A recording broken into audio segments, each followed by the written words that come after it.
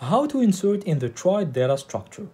The trie stores the same prefix only once. So if we already have the current prefix, we don't create new nodes. We stay in the common branch while it's possible, then we start creating new nodes. Let's for example insert the word machete. We start from the root. We first have the letter M. We already have it in our children. Then we have the letter A. We already have it. We don't create a new node.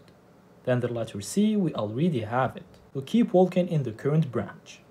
Then H. We already have it. Then the letter E. We can see that we don't have it in children of the current node. So we need to create a new node that contains the letter E. And we go to it. Then we have the letter T, same thing. We need to create a new node. Then we have the letter E, same thing. We finished traversing characters, so we set the current node to a terminal node, and we inserted the word machete.